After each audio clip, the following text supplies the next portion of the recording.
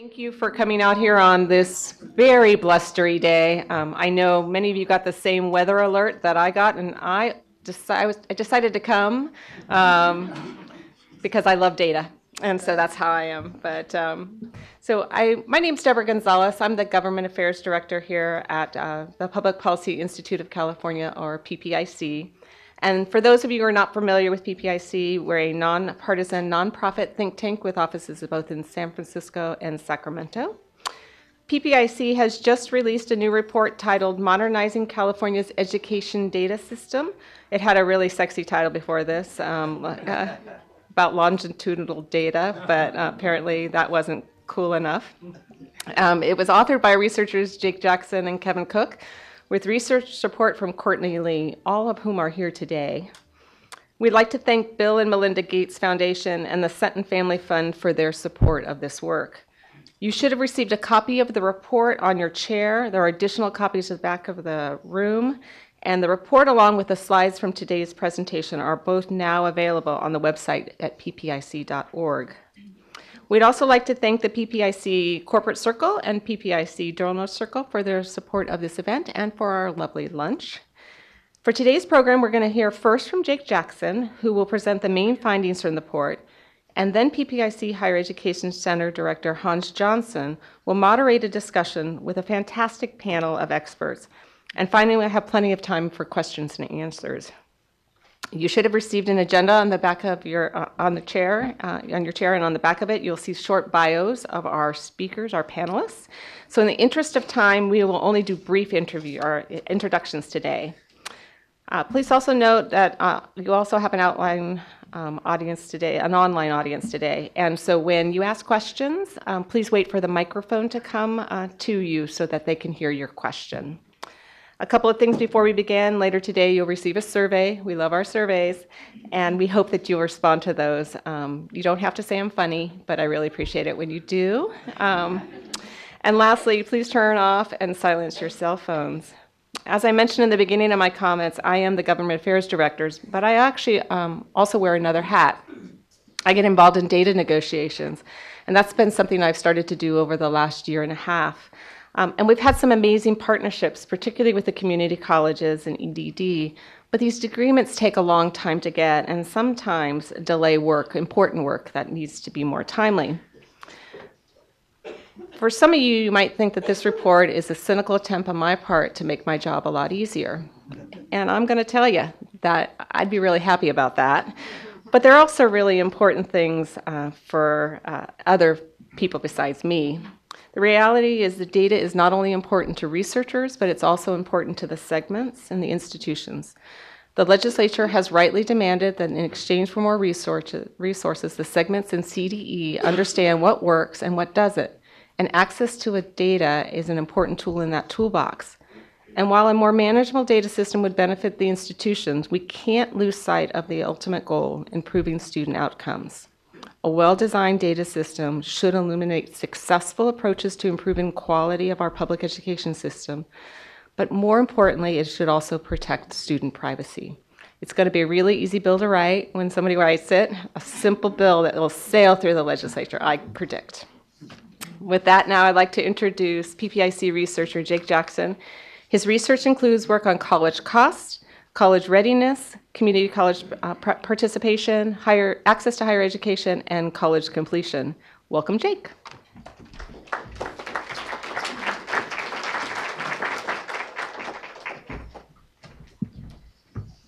Hi. Uh, first, I want to say a special thanks to the Sutton Family Fund and the Bill and Melinda Gates Foundation for funding this work.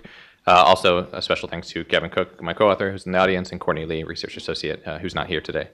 Um, I also want to say thanks to you uh, because the type of people who would be willing to brave a rainstorm and a windstorm to sit here and listen to a talk about data, you're my kind of people, and I appreciate you.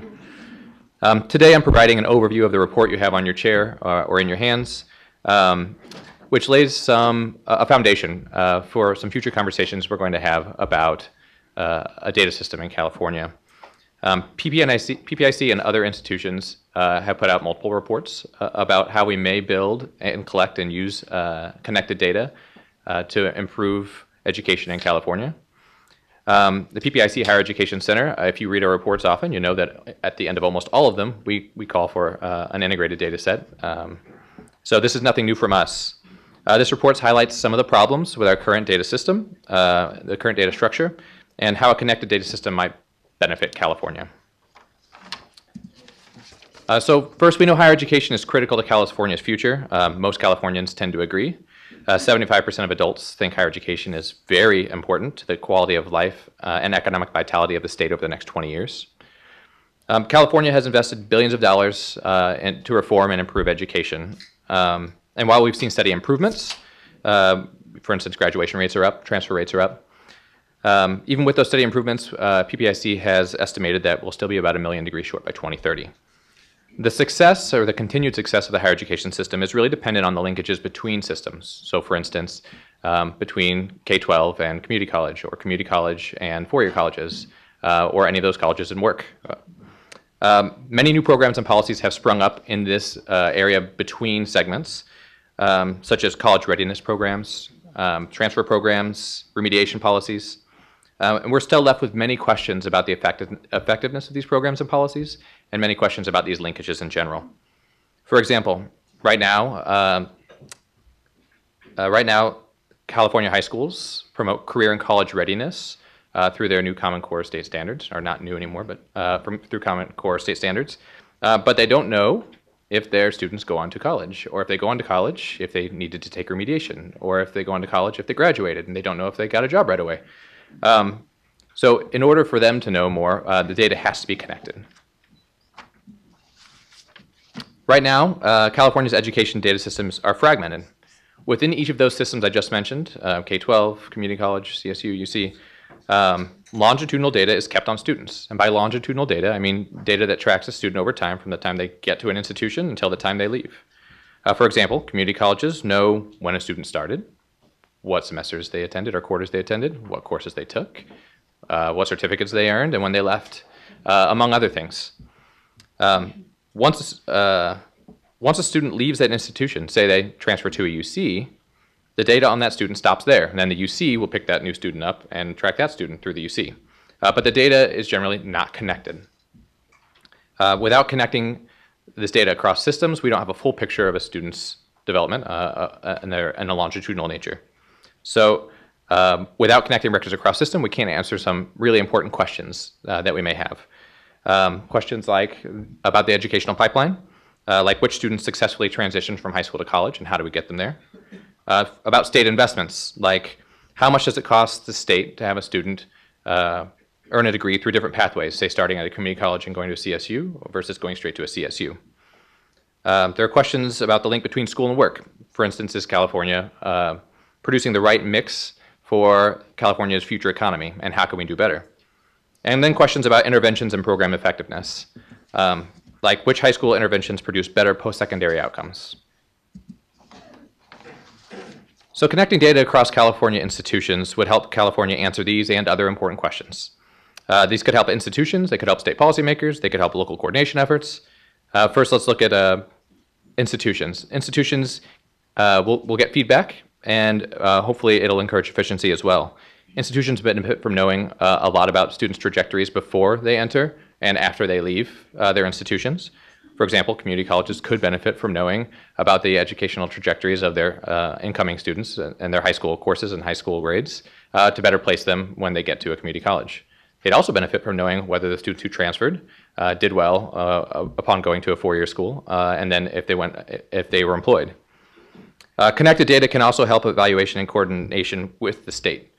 Um, it can determine whether statewide programs benefit students and whether the state is making the right investments at the right places in the pipeline uh, to achieve its goals. And lastly, I think it can also help coordination. Many regional partnerships exist, uh, and they would benefit from data that follows students from local high schools to local universities to local work, um, and in efforts to develop their local economies. The idea of connecting data across institutions is not far-fetched. In fact, it has been done in California. Uh, researchers inside and outside of PPIC have done this uh, on separate occasions. Um, I list some examples in the paper, and I'll list one here today. Um, UC Davis and Sacramento State researchers linked local high school course taking and testing records with CSU course taking records to deter- to determine whether the early assessment program, or the EAP, which was delivered in 11th, 12th grade in high school, uh, reduced the need for remediation once students hit the CSU. They did find the program did help students avoid remediation, but that work never would have been possible without connecting these two data sources, which don't talk to each other well. Uh, however, for this project and, and most of them that I mentioned, uh, the process of getting arrangements, uh, to, to making arrangements to get data from each of these uh, institutions, combining data systems that don't talk well to each other, can be difficult, expensive, and time consuming. So such connections are usually pretty rare in California. Outside of California, however, connecting data is actually a pretty normal idea. Most states have data systems that connect student level data across at least two sectors, as you can see in this map here. And while lagging behind the rest of the nation is not always the best thing, it does provide some advantages. For one, California has a lot of potential models for how data systems might look and how they might be governed. So, how might they look?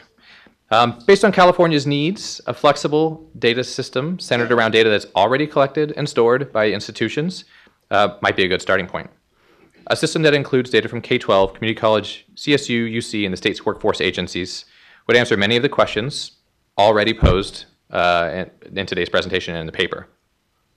Data on when students attended, um, courses they took, and awards they received is already collected and stored um, and they could be connected in one central repository.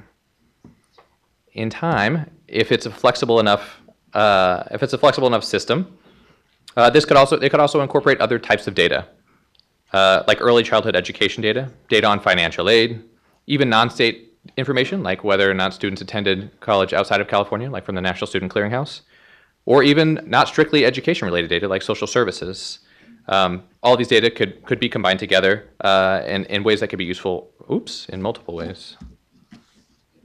Ultimately, which agencies and institutions participate in the system would have to line up with what kind of questions policymakers in the state want to answer. Of course, how such a data is governed is important to the success of the system. The system will have to collect data from all the segments while ensuring that data is secure and privacy is respected. Uh, the governing body will have to determine who gets to use the data and for what purpose, and this is a big job. Um, they might want to co cooperate with outside researchers who are interested in answering policy questions that will help the state move forward. That would incre increase capacity. They might want to work with uh, local coordination efforts so that they can uh, do a better job. And lastly, the education data system, which has some support from Governor-elect Newsom, would definitely support any work done by a newly established higher education coordinating body, an idea also supported by Governor-elect Newsom. In fact, California's higher education coordinating body, old coordinating body, CPEC, uh, did keep and use some cross-sector data before it was shuttered in 2011. But when it was shuttered, the data stopped uh, being collected. It's not clear whether the new data system and the new coordinating body would be one or would be merged. Uh, for one, the data system might cover more than just higher education data, uh, especially if they include data on social services as it expands. Um, it's also possible that separation could protect the data system in case the new uh, coordinating body is, is also uh, shuttered. Uh, but it is clear that no matter what, this connected data would be integral to the kind of work that a coordinating body would do. Um, ultimately, only more connected data can provide a better understanding of the educational pipeline in California. I hope this uh, brief report and even briefer presentation uh, has shed some light on the potential that a statewide longitudinal data system has for improving education in California and set the stage for future discussions we will have about the details of such a system. Um, with that, I end the presentation. I'm happy to answer any questions, but I'm also guessing a lot of these questions will be answered by our esteemed panel. Um, they'll have time for audience questions after the panel, and I'll be here afterward as well if you want to talk. Um, with that, I'm going to hand it over to Hans Johnson, Director of the PPIC Higher Education Center.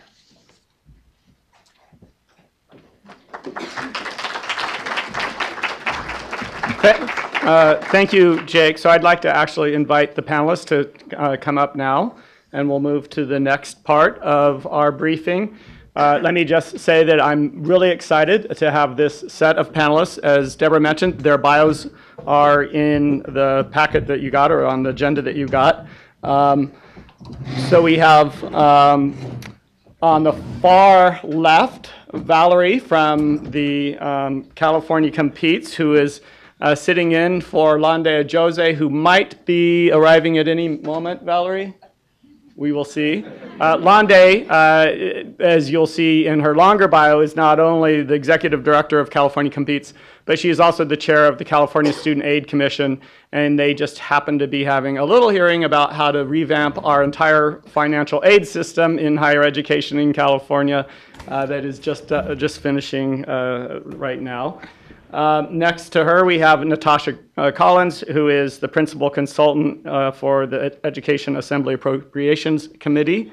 Uh, and next to her is Laura, uh, no, sorry, is Colleen Moore, uh, Assistant Director of Education Insights Center. And then finally, we have Laura Metune, who's the Vice Chancellor for External Relations for the California Community College Chancellor's Office. And each one of these people has been involved in education data systems, developing either in-depth reports about how to move forward or on the front lines of helping us move forward as a state. And so I think we're going to learn a lot from them. I'm going to divide this discussion into three general areas. First, defining what we mean by a, a statewide longitudinal data system. Then, secondly, uh, why we should have one, uh, what some benefits are, and, and, if, uh, and certainly what some potential costs might be. And then finally, how, how do we make it happen? And so I'm going to start off with a pointed uh, question uh, for, for Colleen Moore uh, about what exactly we mean by a statewide longitudinal data system. Okay, thank you, Hans. It's nice to be here today.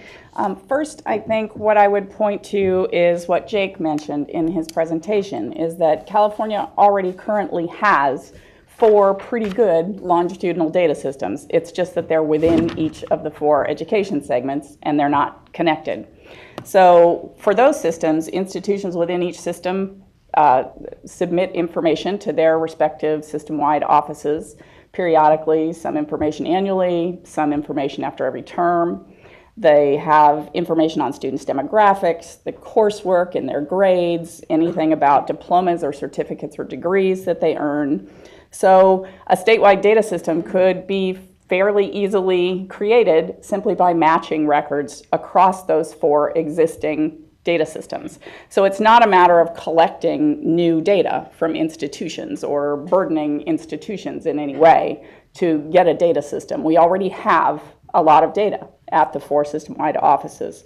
So this is what other states have done in creating their statewide data systems that you know Jake showed on the map.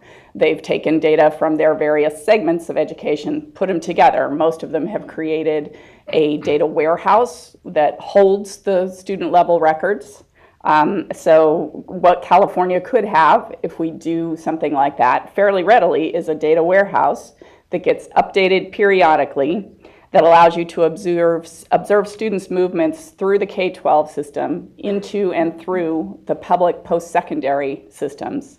And given that the public post-secondary systems already get data matches to EDD's base wage file, we could also have information on employment and earnings outcomes, at least for students that go to college at some point.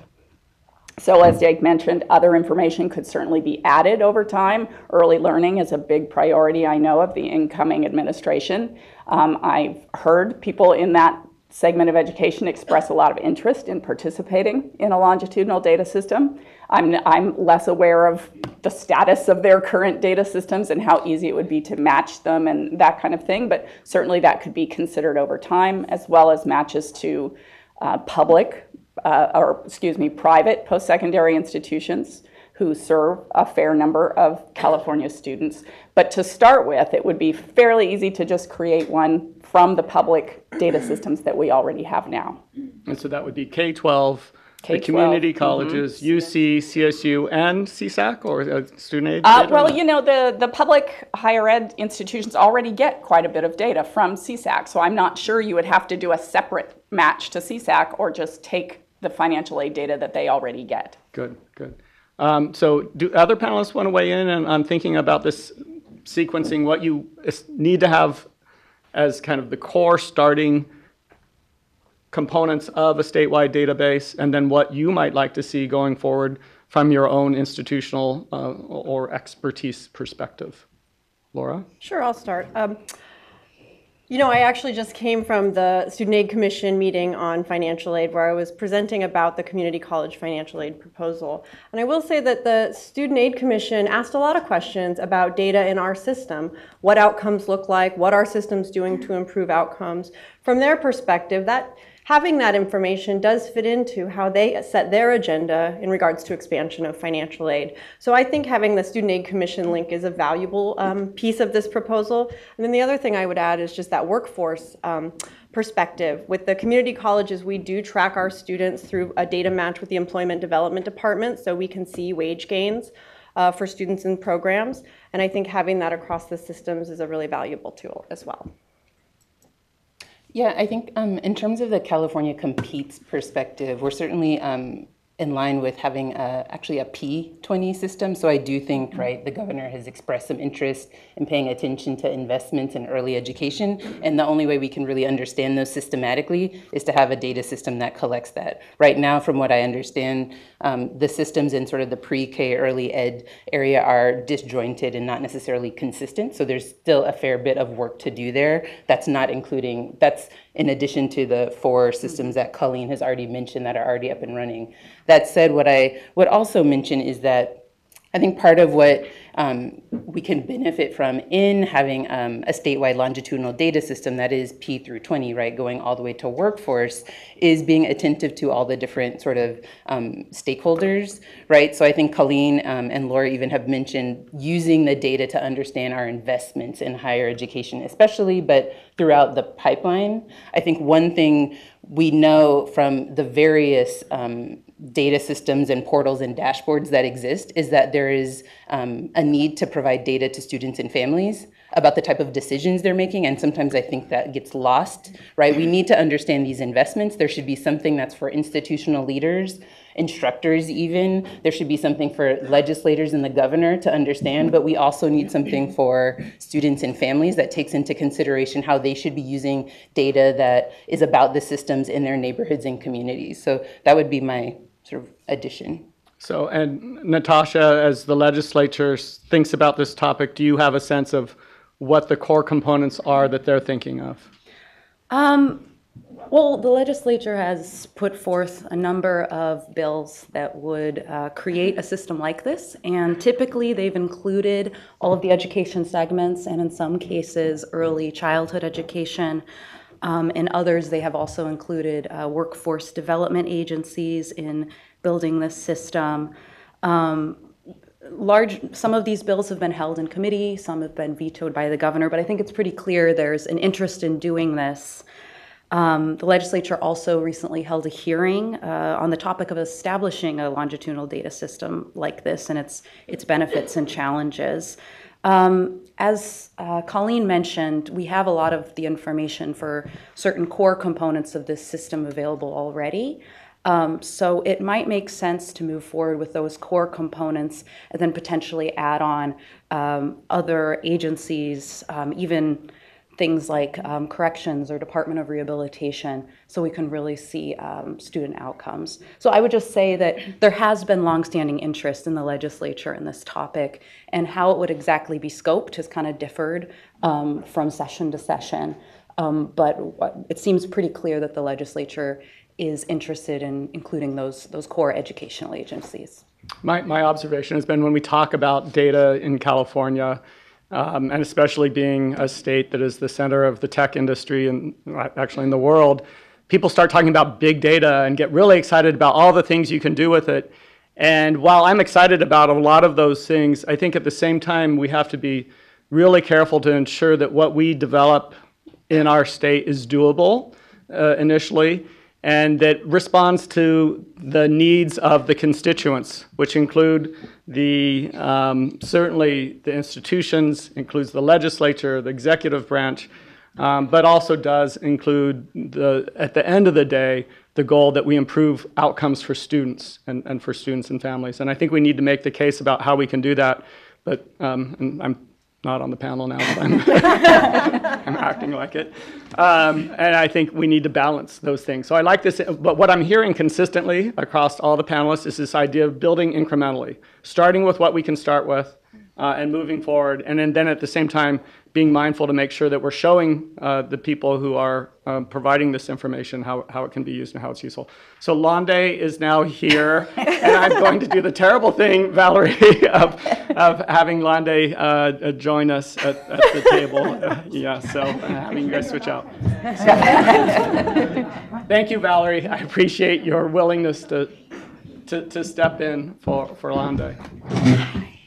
So I think that this leads naturally to, to the next topic that, that we want to want to want, want to discuss, which is what are the benefits? And again, I think we need to think about this in terms of to students, to the legislature, to the executive branch, to the systems themselves, and ultimately, finally, uh, to, to the state. Um, and so there are any number of benefits. We all sit in different places here, so um, I'll let whoever wants to start start talking about this. And again, you could talk about what the costs are too. And then finally, we're going to turn to how, how we make it happen, which will also include costs. I can speak a little bit about some of the benefits to the legislature specifically. Um, what I think the legislature has had to cope with in terms of policymaking and directing funding has been uh, largely anecdotal evidence and um, not comprehensive data on what's working and what's not working. And it seems that, that without that kind of basic information about how well programs are working to serve constituents, it can be difficult to direct resources appropriately. It can be difficult to identify um, gaps in services, um, duplication in services. Um, and ultimately, it, it, kind of results in, in, worse outcomes for students and for um, for their constituents more broadly. Um, so uh, I think that while I'm speaking from the legislature's perspective about how it can best direct state resources, something else that's also very important to the legislature is how providers, as um, Valerie mentioned earlier, how providers are able to use information to inform their programmatic decisions. Um, and so that would be, I think, another benefit that we would see if providers could access data. Maybe it wouldn't be real time, but after the fact to see how their students performed, the types of things that are working and not working for them, they could adjust their programs appropriately. And I think also to Valerie's point, the consumers of these programs. Uh, a longitudinal system would provide data to individuals uh, that would be participating in these programs so they could look at program Y and say, this program seems to be working for people with my goals in my area. I think I'm going to go to that program instead of maybe program X, which isn't showing the long term wage outcomes or employment outcomes that they uh, might expect. Um, also, I think that having this kind of longitudinal data could help organizations like PPIC and researchers provide us with evaluations that would be rigorous and really um, inform the legislature on what's evidence based and can result in um, good outcomes for their constituents. So it's my two, my, my two cents from a legislative perspective. Thank you. Um, I could just weigh in with a couple of particular examples of, of how those things are all uses that you could have or benefits you could have from such a data system. Um, in terms of state policymakers, I mean, they've implemented a lot of very specific reforms in recent years. There's the local control funding formula, there, there's the associate's degree for transfer, for example.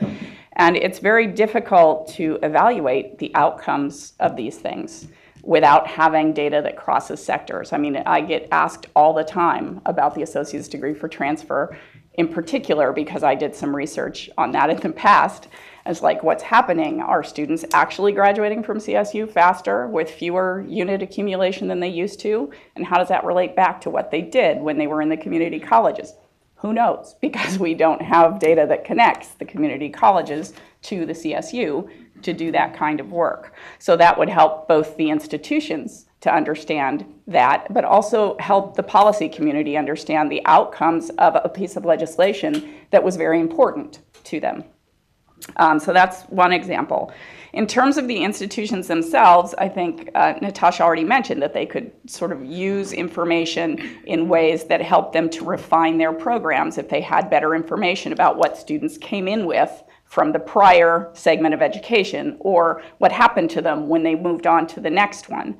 But I can think of one particular example where it even might help them in terms of sort of state accountability metrics. Uh, so, for example, a lot of UC and CSU students go to community colleges to pick up classes in the summer or even simultaneously during the term while they're a UC or CSU student.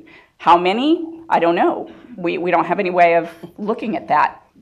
But that's an important function that the community colleges serve that they don't get, quote, credit for in any kind of metrics that we have now because we have no way of evaluating it or giving them credit for that. So that's just one other example. And there's certainly plenty of states with these data systems that have developed you know, kinds of dashboards and things that are aimed at students and families and the public, the way Natasha has described. Go ahead. Can I? I, I don't know what's been said, so I'm So terrified. I'll tell you what we to say missed. Something that's already been said. Well, all you missed, Lande, was we, well, no, it was very important. We had a discussion of what, what would be in a statewide longitudinal database. Okay. um, Good. which Well- you- You know well. Okay, I, I have some Parameters ideas, of that. but I'm sure they've already been spoken to. I guess what I, one thing I would want to emphasize in terms of the benefits is, you know, when I talk with people about a longitudinal data system, I always say that the longitudinal data system is fundamentally our understanding of the student experience, right? Put into perspective in a way that policymakers, in a way that uh, institutions, in a way that researchers can better understand what is happening so that we can create and craft the kinds of policies that we want to see for students. And so when you think about the state of California, when you think about the demographics of California, one of the things that a longitudinal data system can provide us is an understanding of the equity gaps the deep equity gaps that we face in this state, as particularly as they pertain across institutional segments, right? That as they pertain to thinking about how what throughput looks like for, ins, for individuals, and what are the kinds of policies then that we need to to back into. And so we want to be able to use a longitudinal data system to identify issues, to, to monitor progress, to make effective decisions, right, that benefit students uh, and benefit our most um, at-risk students in the system. And without that kind of system, we actually can't tell you as effectively as we would like to be able to what is happening to the student experience from, from point A to point B, which is not just what's happening within an institutional segment, it's across institutional segments. So to me, that is one uh, clear and important benefit. That's awesome. I think all these um, comments are leading up to the community colleges and the place where you sit right now and all the reforms that are happening in the community colleges that partly depend on getting and having accurate data uh, from other systems. So do you want to talk about that, Laura? Yeah, absolutely.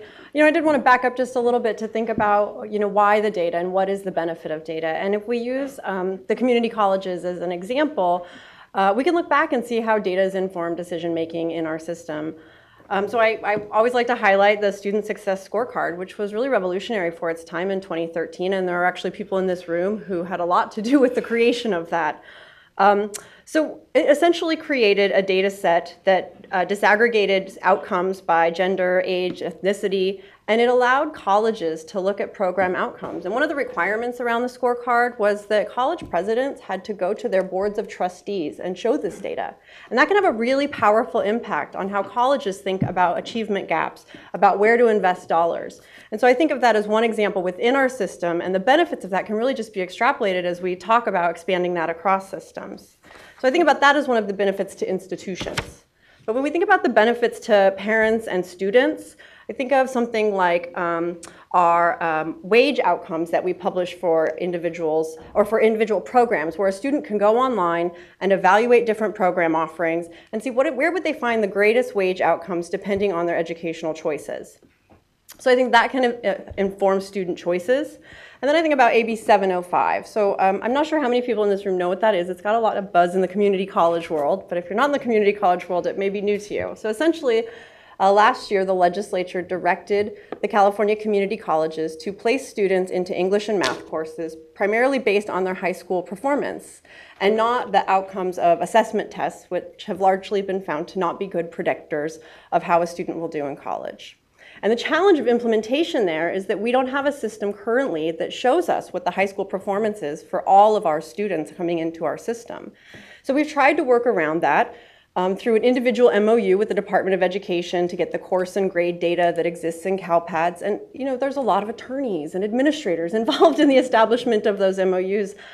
Um, And I, you know, I do believe we'll work through that moving forward, but it, it does create a barrier and a, and a problem as we try to quickly implement AB 705 on a specific timeline. Uh, so having a system that allows us to track students across, across all of our segments, but also allows us to see real-time data that can help us make individual interventions for students can be of real benef- benefit to those individual students. Uh, and then I just at the system level, I think about the way that data informed our own goal setting. You know, we established our vision for success and we were able to establish baseline numbers and clear goals because we have data within our system and because we have partnerships with some of our educational partners about what happens to our students after they leave our system. So I think there's a benefit now that we've experienced in goal setting and an opportunity the more that we expand this, this, uh, these data sets. And then on the state benefit, I think, you know, I, Natasha spoke a lot about how they can use this data to create that policy and fiscal environment that supports student success. And I think that's a, a really important um, note, but I, I also think that we have to be really careful about how we talk about data for accountability purposes. A lot of the reasons that there's so much hesitation with sharing data and making that data available to the public is because there's a real fear that it will result in blame and shame right? So how do we talk about data and about actual outcomes and about how we're serving our students without people feeling personally attacked by that? And that's a really delicate balance that I look to my partners on this panel and my partners in this room to help us figure out how we proceed. So that's a good segue into the next topic, which is how, how do we make this happen? And I think um, probably you're all 100% convinced that we need a longitudinal student data system at this point. Um, and I think the natural question is, why don't we have one? And I looked at the list of states, and, and not, not to say you know, anything bad about Mississippi, but they have one. and for a lot of Californians, even more motivating, Texas has one. so there's a question, uh, and maybe we don't want to play this blame game. If no one wants to play it, that's fine. But why don't we have one? Um, I, I think that the research that I've done in talking to people within the systems, outside the systems, at the local level, the state level, and national experts and in other states, suggests to me that, that the problems in California, the barriers to having a data system are relational and political. They're not technical. There's plenty of people in this state who know how to do it. There's actually been technical plans developed in the past across the systems for how to create something like this. The problems are more of a political nature, both what Laura referenced here, the, the segment's concerns about how the data would be used and who gets to decide how the data are used, and is it restricted to people who understand how to use the data and what kinds of interpretations are appropriate when you analyze the data. And also, I think a huge barrier is that we don't have any entity with a cross-sector role. So there's nobody whose job this is. So there's no real incentive for any one of the individual segments of education to be interested in doing this, to prioritize doing it, both because they might have some concerns, you know, that we've already expressed, but also just because they wouldn't necessarily prioritize it. Their top priority is to think about their own segment and their own currently enrolled students and not to think about something that's such a cross-sector perspective. So I think that's probably the largest barrier is we just, we don't, there's no who. Who would do it? There's so no. I, I've often heard even people in, in the systems that would be contributing this data say things like, well, we do it, but there's no, we're, it would be good if we were required to do it, or, Yes. um, and that's an unofficial statement, obviously. Um, but there is a sense that there might be a vacuum in Sacramento in terms of leadership on this issue. And Natasha, I don't want to put you on the hot seat, uh, but you might want to talk about what leadership the legislature has had on this and where you see it going. Yeah, um, well, I, I completely agree that the barriers are not so much technical, although there, there probably are some technical barriers, but that they are with regard to governance, to privacy concerns, um, to um, the current administration. Again, we're not playing um, the, the blame game, but um, the current administration has been reluctant to engage in this conversation. Um, but it seems that there is an opportunity with the, with the new administration. Um, Governor New, uh, incoming Governor Newsom has indicated in multiple forums um, his support for this comprehensive data system. So it seems like this topic, we've been talking about it for over a decade, is ripe and um, that, that it is time to uh, really engage in these conversations and overcome these, these barriers that uh, are largely put up for, by political pressures and the like. Um, but I would note that while the legislature, I think, has shown that it wants to take leadership on this issue, that um, the political pressures and the ability for agencies to actually engage is also very important. I'll just use an example of in the past when the legislature has um, mandated that agencies share data. And that example would be the career, uh, the CTE Pathways Program, which for over a decade required, as part of participating in the program, that K 12 and community colleges share data to see how students participating in CTE programs fared after completing a pathway in high school, uh, what programs they engaged in at community colleges, or what workforce outcomes they had. And year after year, the legislature would receive a report that said we were not able to link data, so we were not able to report on this indicator. And what's the recourse there? I think what the consequence is is that we don't have that information, but we need to take a lens and look at well, what is impeding this work? Maybe we do need to address things like governance, privacy, funding, and so on. We can't just um, put out a have a bill that says do this. We need to create the the context in order for the work to be done somehow. So let's, let's talk about governance. Where, where if we create uh, a database, where, where should it reside? Or what are the possibilities? Well, um, I would just add to the last comment that I think part of um, the effect of being able to say we can't report on this is to create some skepticism in the building, even amongst staff, about can we really do this? So, um, so that there are kind of um, subsidiary effects around you know, is this really worth doing? Are we going to dump a lot of money into creating a data system that no one will use, that no one will get the information that they need? Because at the end of the day, nobody wants data. Everyone wants information for decision making purposes. And so that becomes a, a barrier, I think, as well. Uh, in terms of governance, um, you know, we have long believed that. Um, the state needs to have a, a, an independent body that would actually be responsible for collecting cleaning, analyzing that data, and making sure that it's available and accessible to uh, many other parties. Um, there's a challenge in that because I think that uh, part of the live conversation, as was mentioned earlier, in the legislature has been is a governing body going to be about um, just about data? Is it about broader issues related to segmental coordination? Or does it become about uh, accountability? And whenever you start to say the A word, people get really nervous, as you can imagine. And so that has been um, a, a, stumbling block in many ways because there has, and I think actually, um, you know, the, the governor, the current governor, um, has, you know, at times been like, we want more accountability, and then that creates kind of some resistance on the part of the segments, and so you end up in this tension and this back and forth. Um, so I, I, think, though, that there is an opportunity. Um, certainly, there have been many bills in the legislature over the last five, six, seven years around uh, governance. I know that um, this is something that I believe Senator Glazer is uh, thinking about, and we will see if there's someone else in um, the, the Assembly who will continue to think about that. And it is something that Governor-elect Newsom, along with the data system, has said that there needs to be some kind of coordinating or governing body. Now, the devil is always in the details in terms of what the actual responsibilities of that body would be, but we do think that there is a need for somebody that is resp- responsible for both collecting the data and, more importantly, for helping to analyze it. It is a function that was a function of CPEC.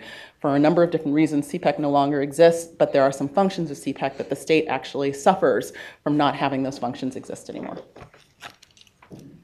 Um, I would kind of go off of that and say that I, you know, in, in past work, I too have recommended that California needs a coordinating body because the, the benefits of coordination go way beyond data as an issue.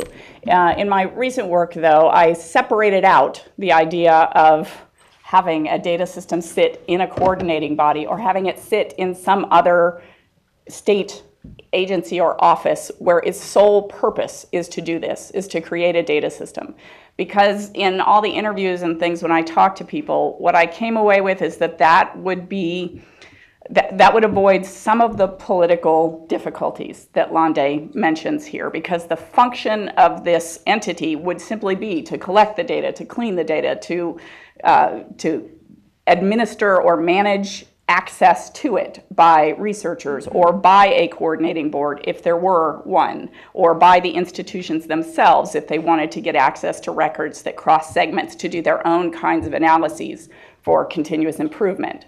So that there would be an entity whose sole job was around data, creating maybe basic uh, dashboards and reports for various audiences, some of these things aimed at students and families, things aimed at institutions so they could look from one year to the next how many more of our students are going to college, how many more of them are ready for college and not being placed in remediation, that kind of thing. So they could do some basic functions like that and be more neutral in terms of the uh, having no actual power over coordination or authority, which could be a separate discussion. So one issue that often comes up, um, and you- you've alluded to this, is privacy and confidentiality. So how have other states ensured that they have maintained privacy and confidentiality? Uh, Is it different in California? Do we face unique circumstances? And, and, and how do we accomplish that?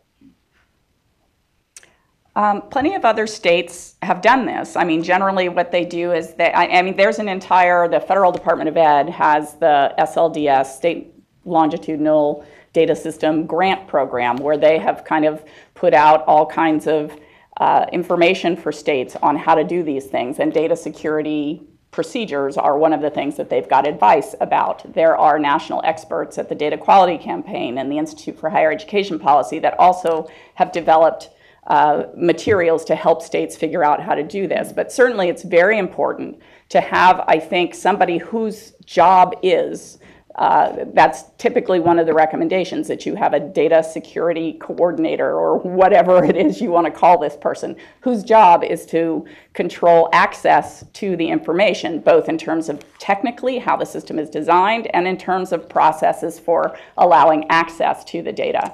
And the fact is that once the data gets matched and is kept in a system like this, a data warehouse, it's generally de-identified. So there aren't students' names associated with it anymore. They assign some number that doesn't have anything to do with the social security number that the universities use for that person or that the the K-12 number that they use in that system. So uh, it's definitely a concern across the country, but other states are finding ways to deal with it. And to be clear, it's still individual level student data, but it doesn't have their name, it doesn't have their name, address, it right. doesn't have their social security number.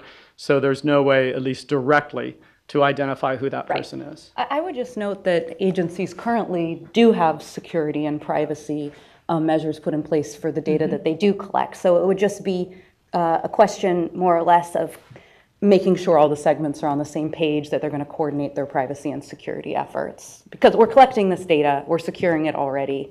Um, There, there may be, if there's problems with privacy and security now, there will be in the future. So one thing we haven't addressed yet is how much this might cost. Um, It's been pointed out that these data sets, at least some of the initial data sets already exist, so there's not a data collection effort necessarily. Um, a- a- Any sense a- about what the cost might be? Yes. Um, As we've been thinking about it, um, you know, what the cost might be actually turn on whether we think about the system as being a centralized system, where we are kind of uh, collecting and maintaining data from all um, sectors and segments, or whether it is a federated system where we are kind of linking systems. Um, The federated system is less expensive, and we've estimated, and it may be a low estimate, somewhere between 15 and- and 20 million dollars in startup costs, and probably three to 5 million or so to maintain it. Um, A a comprehensive centralized system uh, would have higher startup costs, we're estimating around 30 million dollars, um, and also higher ongoing costs from somewhere between 7 to 10 million dollars.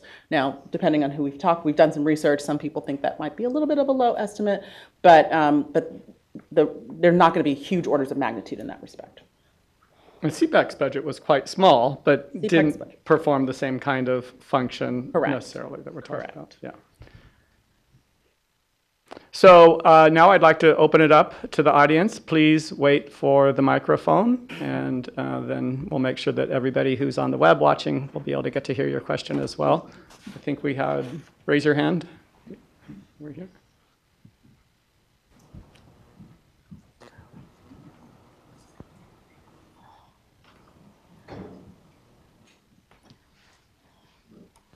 Oh, sorry. We'll get you next. Yes, please. Okay, j- just quick clarification. And please state your name and Uh, Neil affiliation. Kelly with Chancellor's Office. Great. So Mississippi has a federated system. Mississippi State runs it. We had them out to California. We're going to use their model, but we couldn't get the agencies to agree upon using that system. Just a fact. But my question really is about undocumented students. So we have a large segment of undocumented students in our state. We don't necessarily ask if they're undocumented, but there is a lot of information about those students.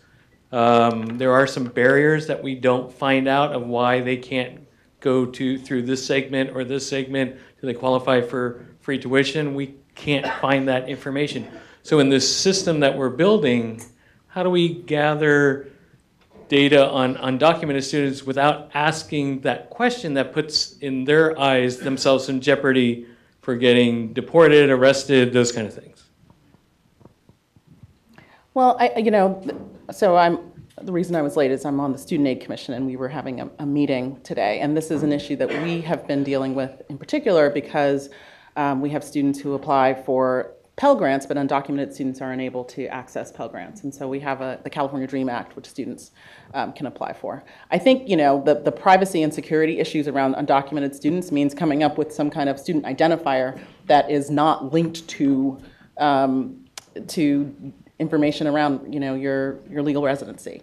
Um, and so it does mean probably that there are some questions we might not be able to answer, but I would argue that um, that is probably worth the benefit of ensuring that we have that, that information.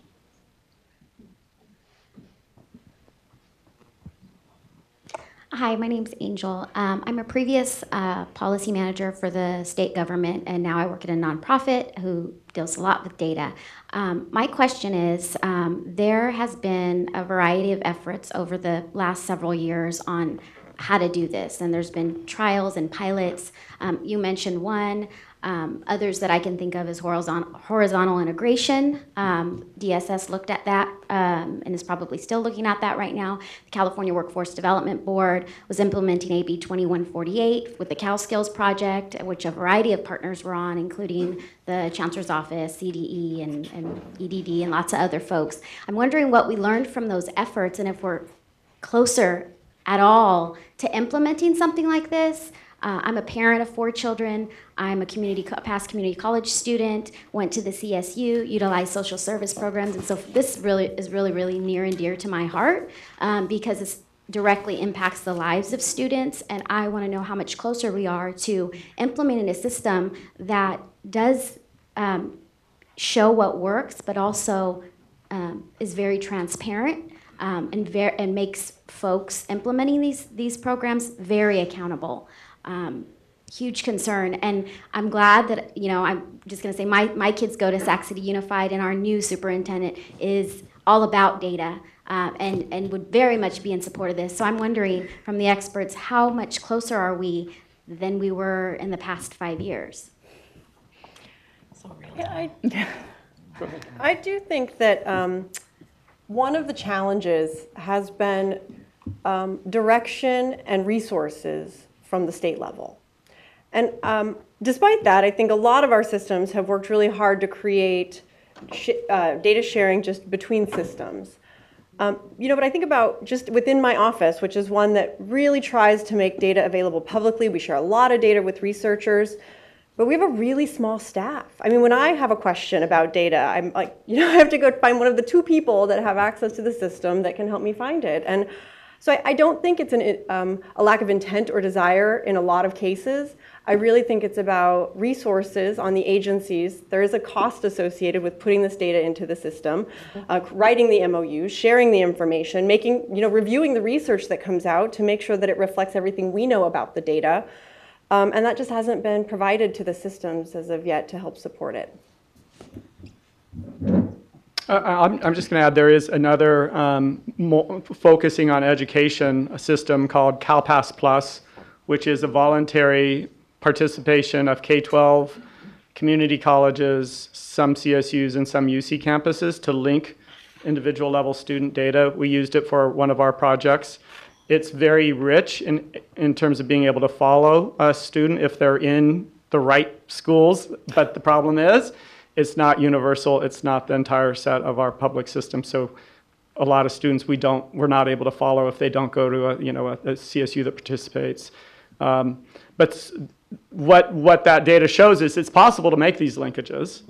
Uh, it's possible to use them for research, but we need state action, at least from my perspective. And I think there's another great example to Hans's example, which is the California College Guidance Initiative. And actually, Right.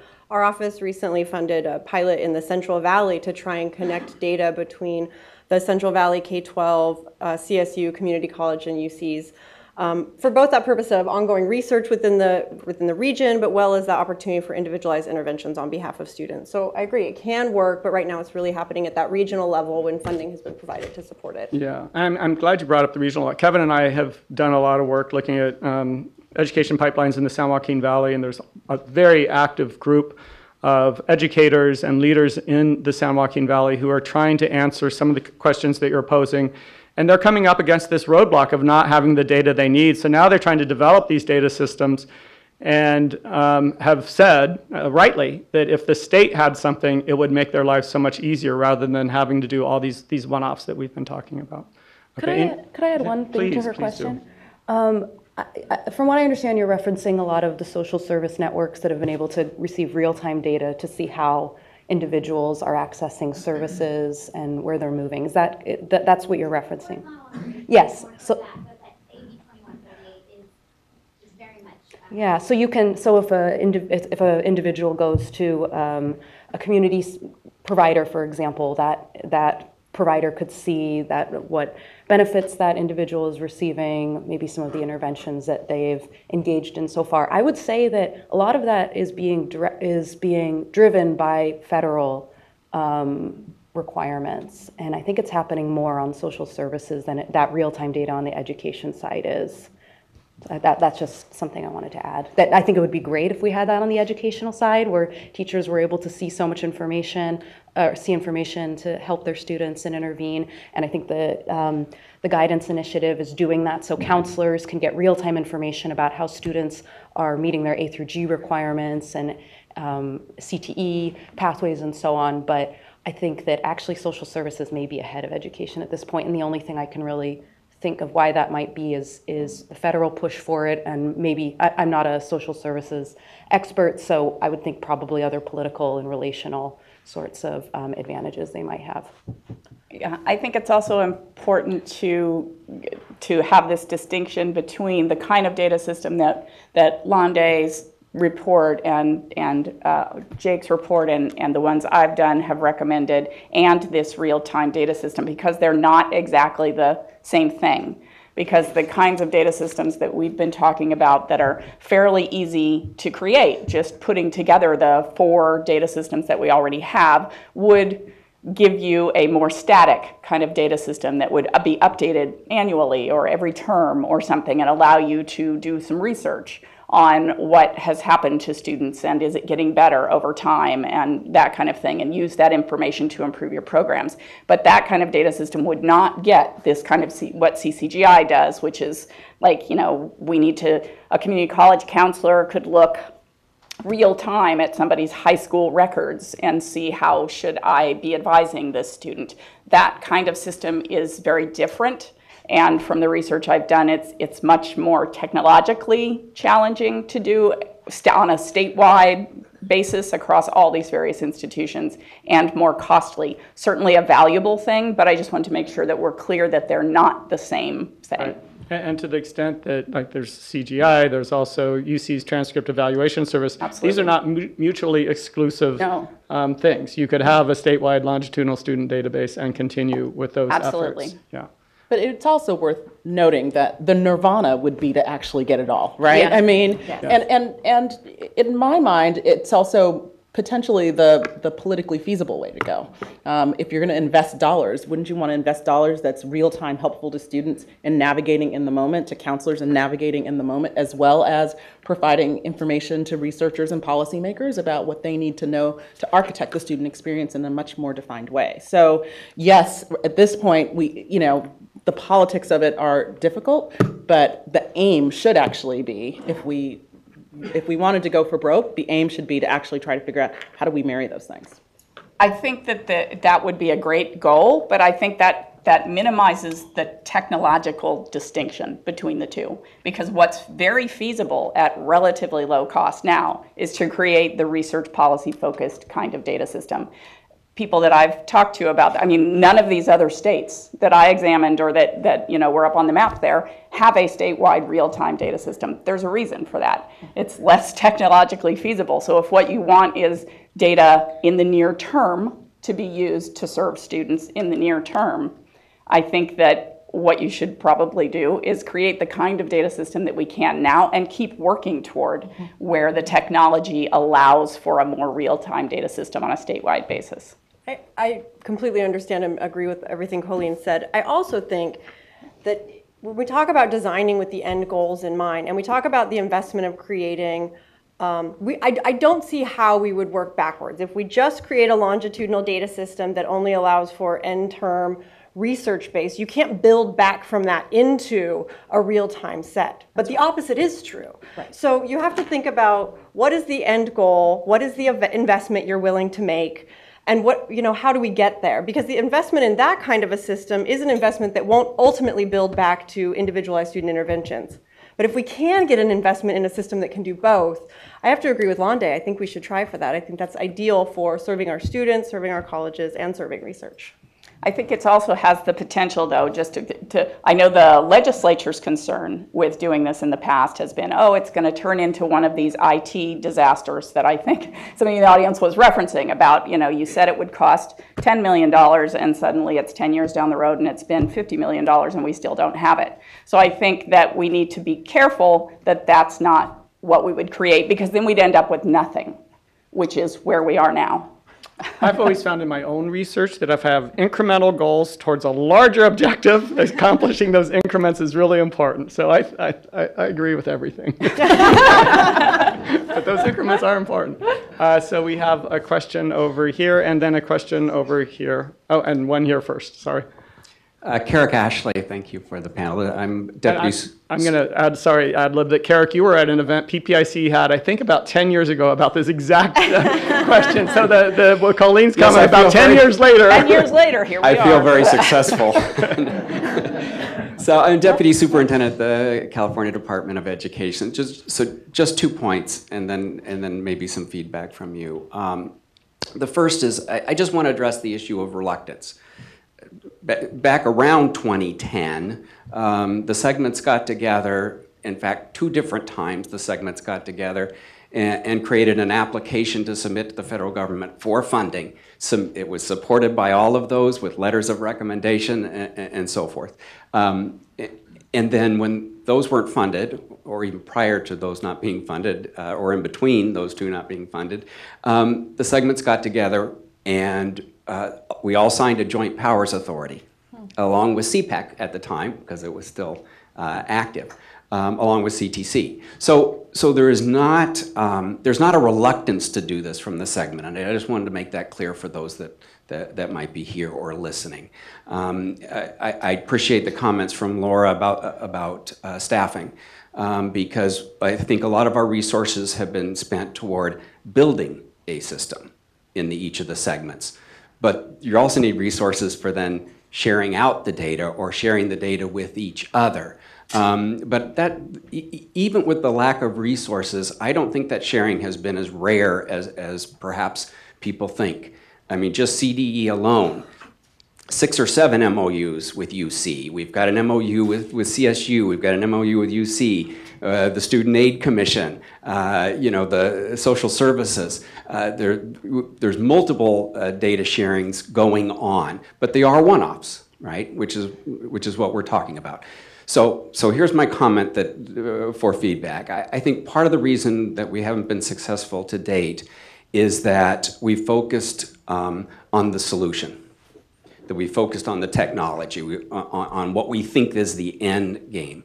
Uh, you know, perhaps what we need, and I think Hans, you, you, you referred to this earlier, uh, and that is, you know, if state leadership could agree on the top five questions they want answered, then pull the segments together and say, okay, if these are the top five, how would we get these answers? What would it take to get there? Or maybe it's the top 10 questions. And then once we prove that that's possible and we learn from that kind of data sharing to get those answers, then we can talk about a solution that we want. Panelists?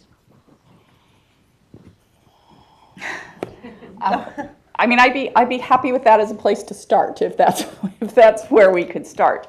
Um, I think that that focuses in on the use of the data for the interests of the state only, which is only one audience that is potentially of interest. I mean, that kind of thing wouldn't result in students and families having access to any information that could come out of this data system, or the institutions themselves having access to any information they, they could get out of it. So that seems to focus more on you state legislators, what do you want to know? Let us tell you what you want to know. That kind of thing. I, I think, you know, there was a question about how to motivate this so, so that it happens. Um, from our perspective, one of the problems of understanding how students are doing in California, whether they're making these critical transitions from high school to college and then succeeding in college, is that we don't have a consistent, system-wide, across all the systems, longitudinal, overtime database to answer these fundamental questions. And so I think the, the danger of like setting, posing a set of questions is you'll get a, a set of one-off answers. Um, but it could be motivating in terms of, okay, in order to answer questions, these questions and questions like these, we need this sustainable long-term um, uh, database that, that, that can respond. Um, maybe not always in real time, maybe eventually in real time, but certainly in time quick enough to be responsive in ways that we can't right now. And uh, you've heard just these, some of these basic things. I cannot tell you how many UC eligible students don't go to UC. Uh, I, can, I cannot tell you how many don't apply to UC. I can't tell you how many end up at a community college. I can't tell you how many go out of state. I can't tell you how many don't go to college at all. Um, basic fundamental questions. And we'd want to have answers to those questions, I think, year after year. Um, so let me get to another, uh, well, any other Oh, comments? I, I guess I just wanted to, to say that with the five, with, you know, five questions, I think the starting incrementally and showing wins early on to get people on board is really important. But I think my fear would be, and I'm thinking like how the legislature would write a bill, right? That's how I, how I think about this. How would, the, how would we legislate something like that? I think my fear would be, um, okay, we want to, we, we know we want to know remediation out of high school. Let's answer that question. Is it going to be one of those things where we're just sharing Excel documents again? I think what we're really interested in is a system that isn't just sharing these kind of disparate um, data points and documents, but really something more overarching. So maybe if it was something like, we build a system that answers five questions, but then it's kind of like, well, why then only five? So th- those are just some of my thoughts that I think we want to. I think that the the end goal is something big with a with a system that can answer a multitude of questions. But I really appreciate the, you know, let's figure out what we want to know here, and that'll get people on board. And yeah. Question over here. And then we have one over here. Well, I think we're ready to go over here, and then we'll get to you. Uh, hi, I'm over here. Uh, my name is Nadine. I'm a reporter with Capital Public Radio here in Sacramento. Um, my question is more of a historical one of how we got here. Um, I found it interesting that you all had mentioned that 10 years ago you were having this very similar discussion about implementing these sorts of programs. And as we as Jake discussed early on, most states have this sort of program. And so for me, one of the things that I wonder about is all of these things that we're we're looking into, haven't many other states done it already? And what makes California unique in that it hasn't already done what many other states have done already? So that's open to all panelists, whoever wants to answer. Thank you. Uh, well, I think one of the things that makes us unique is what I mentioned as one of the big barriers is that we have no cross sector entity to take this on. Um, most of, uh, California is one of only what two states in the country that doesn't have a coordinating board over all of at least higher education. Um, we had CPEC at one time, who, as we mentioned, did do some limited data matching across systems, and then that went away when they did. Um, so I think that that's a big barrier is that we just don't have anyone whose job this is to do or who sees it as their primary mission, their primary role, and they are resourced to do it. So that's a big barrier in California. When I talk to national experts across the country who advise states on doing this, that's what they pointed to me as. You need an entity whose job this is to do this.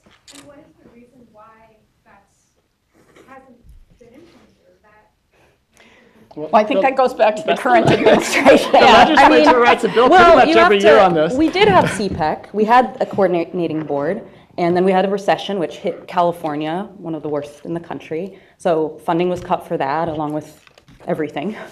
Um, We also had a governor coming in at that time that didn't see maybe the value of this as much. Um, We also, to Colleen's point, have, don't have this, this um, we, we're very decentralized. Our educational segments have a lot of autonomy. If you look at a place like Texas, basically their segments are under one, are under the administration and have, and uh, that administration has a lot of control over those segments and can mandate what they do.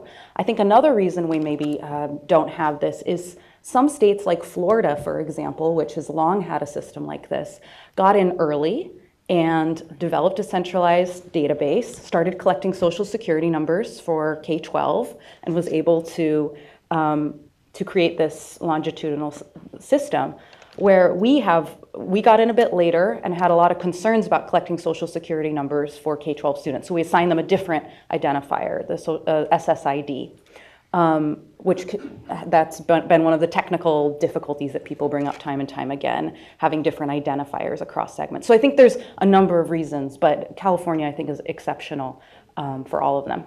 I think they are exceptional in other ways, although I would just point out that many other states also have separate ID numbers Yes, in yes. K-12 and in higher ed, and yet they have one of these data systems.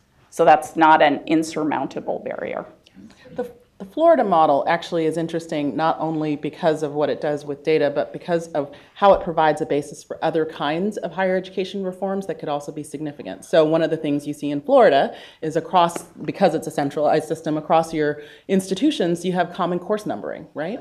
Which means that if you are a student who starts at a community college and then you want to go to a state university or you know the University of Florida, you know that English 101 counts as English 101 everywhere. That does not happen in California, right? And so if you're a student at, you know, choose your favorite community college, you're trying to figure out if I want to transfer, how do I come up with the requirements for UC Davis, for Sac State, for any number of institutions, and you're doing that college by college. Now, the associate's degree for transfer has made a big difference in that, but it's not universal and it doesn't really uh, you know account for the UC. So I think that there the other piece of a data system is that as we think about that kind of coordination and making it much more systemic, it can lay the groundwork for other kinds of systemic reforms that we would like to see our higher education institutions take on.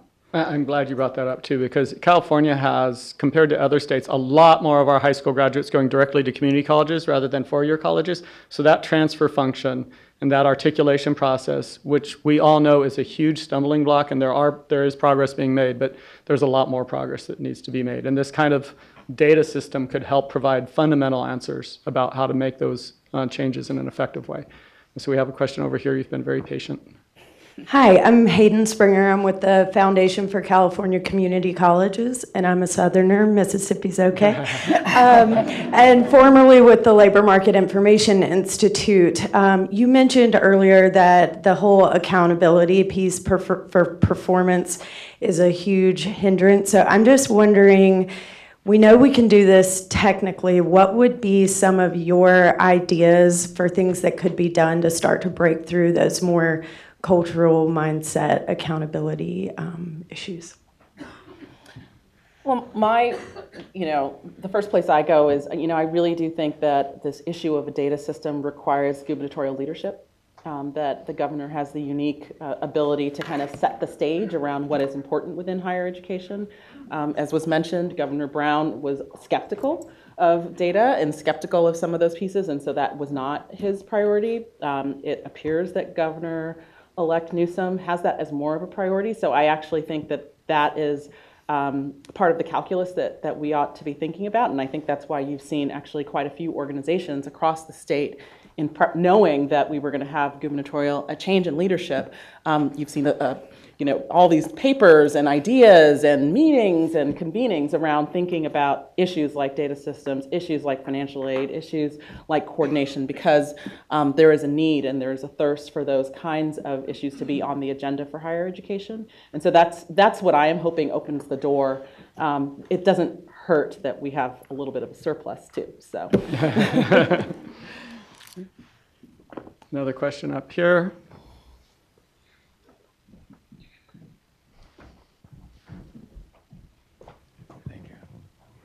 Hello, my name is Pete Martineau, and I'm asking what is the uh, involvement level of the California State Board of Education, the State Superintendent of Education, and also the all of the school districts? How, how much are any of them involved, and how much do you want from them? I'll just speak on the school district and community college district side that um, where we've seen data sharing work is at that local level. Um, you see uh, CalPass Plus and CCGI working in communities across the state. Um, in fact, I think today there's a group of folks in Southern California who are local colleges getting together to talk about how what, what their needs are from this type of a system from the state. Um, so I think the, the involvement that they've had so far has really been by way of leadership and, and the absence of state level engagement. And what they can do for, for state leaders now is really inform us. What, what do you need from such a system to ensure that it helps you serve your students? And I, I think Keric earlier pointed out that uh, CDE has been working hard to develop what they call CalPads, which is a longitudinal student data system of um, K-12 systems, public systems in California. And so the, the districts have already um, developed that data set. They already send that information to Sacramento, and um, CDE has a very um, extensive effort in training and ensuring that that data is reported as accurately as possible. So they're already doing that. But, but, but what's not happening is, well, some of it does come back at least, but, but the cross-system uh, uh, stuff is, isn't happening consistently. So we have time for one more question, if we have one more question, and we do, here in the back. Yeah, hi. Uh, uh, there it is. Uh, my name is Stephen Burke. Um, I work for the state in uh, water data as an administrator. And I'm just kind of curious if um, you guys have looked at any of the parallels between any other of the in- industries or the sectors. Um, I know that a lot of this discussion you guys are talking about right now for just getting the policy moving forward is kind of where we are. As you know, the policies are moving forward for water data transparency and sharing data. So I'm just curious if you know that's an area of your guys' research you're focusing on and trying to duplicate to save some of the efforts. Yeah, I think I've, I've only looked at sort of other states doing it around education data. I haven't looked at what other areas of policy are doing it in California. Yeah, I think maybe the lesson there might be just that, uh, and again, I don't know the water um, situation so well, um, but in other areas like social services, and we've done work wor- working with um, Medicaid data, for example, in the past. Uh, there are certainly other agencies that have sought to try to figure out how they can work across systems uh, within the state, and they've been able to answer these or solve these questions about connecting the individuals in one data set with another. They've been able to resolve the privacy and confidentiality issues. So I think those are the main lessons for us going forward um, in, in the K-12, uh, and I'm sorry, in the in the um, educational longitudinal data uh, system uh, framework. Uh, so um, I'd like all of you to help me thank our panelists for the fantastic discussion that they've had.